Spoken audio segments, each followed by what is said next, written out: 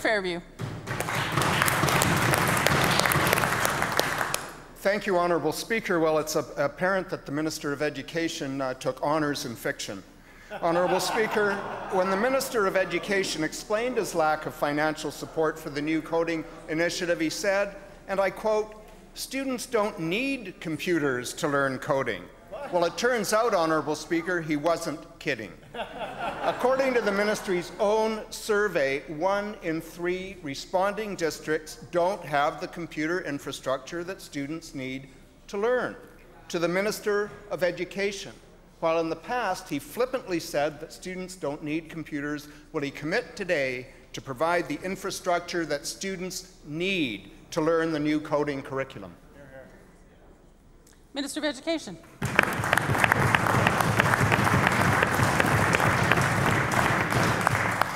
Well, thank you, Honourable Speaker. I guess I will have to repeat myself again because they keep asking for us to make commitments, which we've already made. $6 million that we've actually said is going to the school districts for equipment, for training for teachers, for opportunities to make sure that we continue to stay uh, the best in the world. And Honourable Speaker, who I also want to thank is all the industry partners that we have, all of the companies in British Columbia that have chosen to make British Columbia home.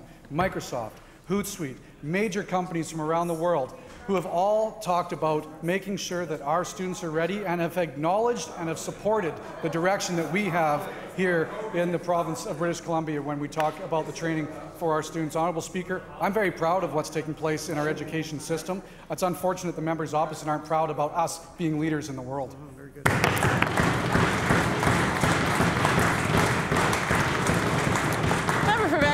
Very good. Vancouver Fairview on a supplemental. Honourable Speaker, once again, the minister attempts to uh, convince BC families that too little, too late is progress.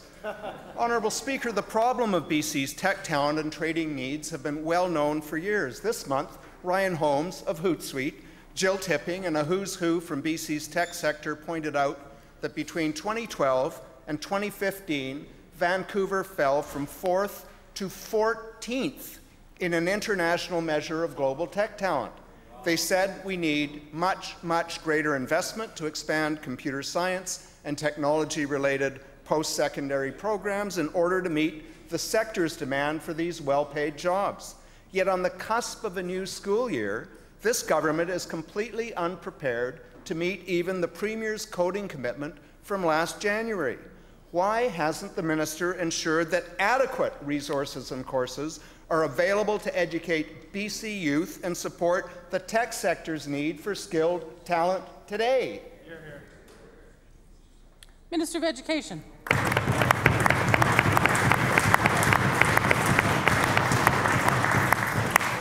You know, Honourable Speaker, first I think it's really uh, important to acknowledge the fact that if it wasn't for this government, we wouldn't have such an amazing, strong economy and the tech sector choosing to be in British Columbia.